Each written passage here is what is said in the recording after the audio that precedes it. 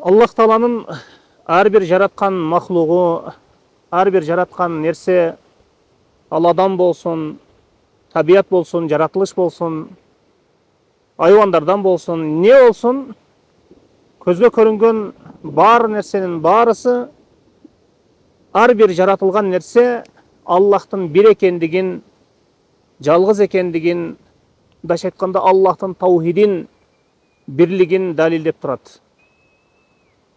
Кейде инсан уақыт ажыратып табиғат қойнына шығып тауларды аралап таулар арасындағы суларға қарап жаратылышқа қарап бақ дарақтарға қарап таулардағы ошол дарақтарға арчаларға өсімдіктерге қарап аллахтың өте улуу құдіреттүү зат екендігін біліп алса болады аллах тағала өте құдіреттүү улуу зат мына ушунун баарын жараткан аллах. Бұл үшін біз аллахқа көптөгөн шүгүрлөрдү айтуубуз керек. Аллаху алам.